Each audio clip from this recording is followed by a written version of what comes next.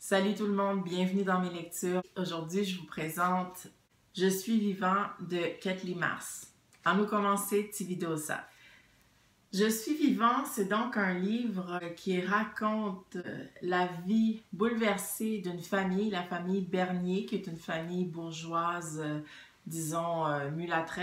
Leur vie est bouleversée suite à un tremblement de terre qui a fait rage en Haïti en janvier 2010 et qui a été suivi d'une éclosion de cas de choléra. Alors, c'est l'histoire d'Alexandre qui est l'aîné de la famille Bernier et qui souffre de schizophrénie.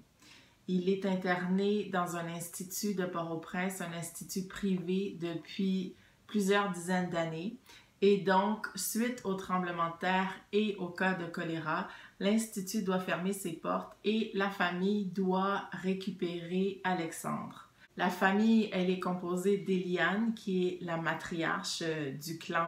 Le père est décédé l'an dernier à l'âge de 90 ans à peu près.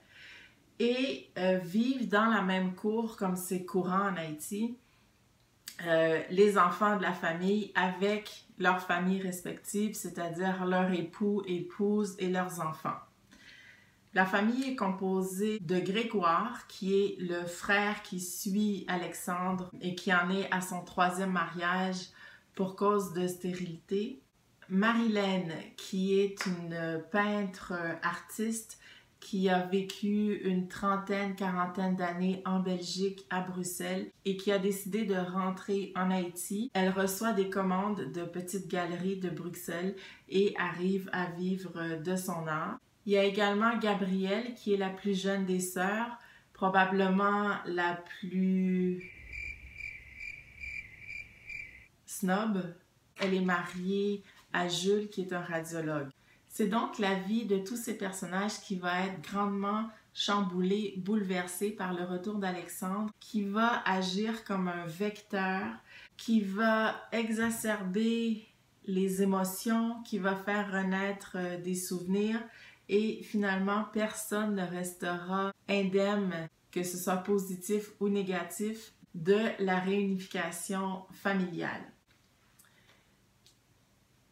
J'ai passé un très bon moment de lecture avec ce bouquin de Kathleen Mars. Je dois dire que je l'ai choisi parce que en lisant la quatrième de couverture, j'ai réalisé que c'est un roman plutôt audacieux qui traite de thèmes souvent très tabous dans la culture et la littérature haïtienne, que ce soit la maladie mentale. Il sera aussi question d'homosexualité féminine, et le rapport des familles bourgeoises avec la population en général. C'est ce qui fait le tour pour mon résumé de lecture. C'est une lecture que je vous conseille. Comme à l'habitude, si vous l'avez déjà lu, laissez-moi un commentaire et un petit pouce en l'air si la vidéo vous a plu. Moi, je vous dis à très bientôt dans une prochaine vidéo. Ciao!